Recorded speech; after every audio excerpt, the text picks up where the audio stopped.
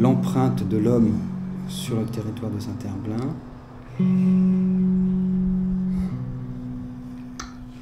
Euh, si on dit l'empreinte de l'homme, on peut peut-être dire euh, voilà l'aménagement, puisque ben, l'empreinte de l'homme, c'est quoi? Ça va être euh, voilà tout ce qu'il va construire, modeler, transformer, aménager, supprimer, remodifier, enfin voilà,